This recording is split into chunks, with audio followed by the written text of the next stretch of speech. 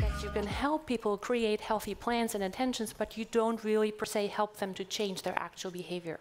And this is, in many cases, because desires get in the way. Therefore, it's really important for us to understand where desires come from and how we can deal with them. And in terms